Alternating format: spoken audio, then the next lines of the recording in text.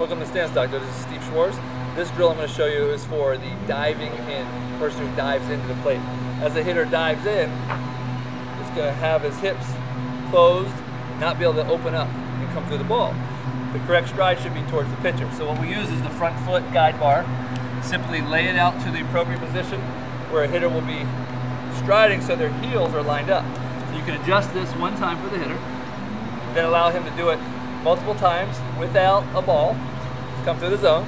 And then you can also throw a front toss, hit off a tee, side toss, whatever you'd like to do to get them in that same position each time to make a correct swing by not diving and eliminating the diving in for the player.